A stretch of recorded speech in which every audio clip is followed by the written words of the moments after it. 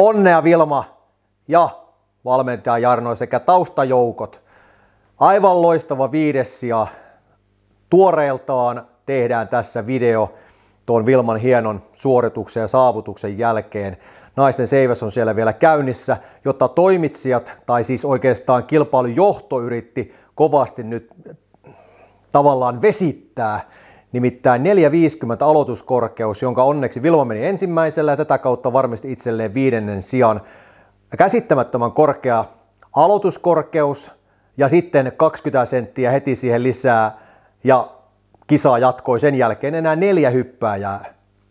Onneksi noin neljä hyppääjää räiskii yli tuolle 480 ja 485, eli siitä tulee kuitenkin loistava kilpailu, mutta no voihan se tietysti tälläkin tavalla ratkaista, kuka on kuka ja mitkä sijoitukset ottaa, mutta hieman ihmetyttää, vaikka kuinka oli 15 hyppääjää finaaliin otettu, niin ei se sitä kisaa olisi hirveästi pitkittänyt, olisi tehty niin sanottu normaali kisa, vaikka 4,40 ja siitä 10 sentin välein nostot. Mutta nyt mentiin näin ja pulinat pois, ei mahda sille mitään, mutta kyllähän se monen kilpailijan hyppäämistä haittasi se, että oli niin korkea aloituskorkeus ja sitä kautta sitten vielä kaiken lisäksi niin tuommoinen 20 sentin nosto heti siihen perään. Mutta äh, Vilma suoriutui omasta osastaan juuri niin hyvin kuin oli odotettua, eli 450 ensimmäisellä upeeta.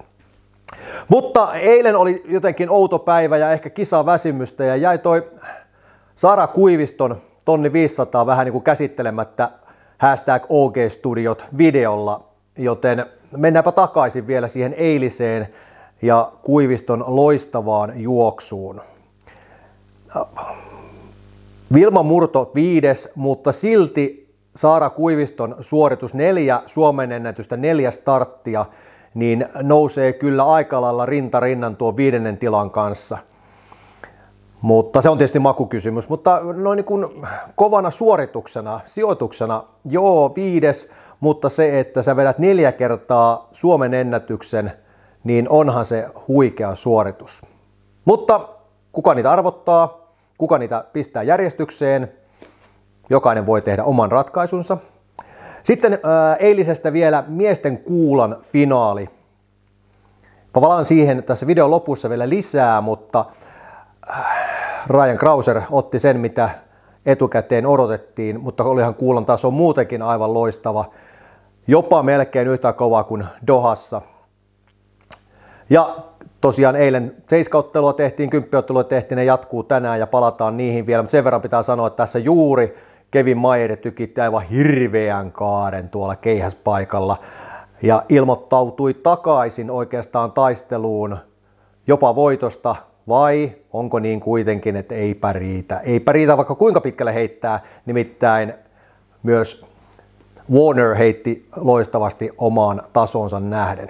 Mutta se siitä, palataan näihin vielä myöhemmin 10 ja 7 otteluun. Ja oikeastaan tässä vaiheessa sen verran, että paljon on ollut pulinaa, parran pärinää noista uusista ken- kengistä sekä myös huippunopeasta radasta.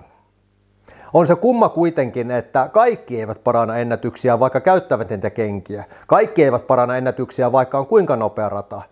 No miten sitten, kun kumminkin tuolla kuularingissä esimerkiksi ja kiekkoringissä, moukariringissä, niin sielläkin on tullut kovia tuloksia, jopa ennätyksiä, olympiaennätyksiä ja niin edespäin, niin onko siellä sitten niin kuin tossut hyvät vai onko ranteessa joku vieteri vai, vai onko se alusta sitten niin paljon liukkaampi tai pitävämpi tai jotain? Kyllä se on urheilija, joka ne tulokset tekee. Totta kai teknologia auttaa, avittaa, mutta antakaa nyt ihmiset ennätysten tulla, urheilijoiden tehdä niitä, jyvät erottuvat akanoista, kovat on kovia, oli välineet mitkä tahansa. Kiitoksia. Tällä kertaa jatketaan uudestaan aika pian. Moro!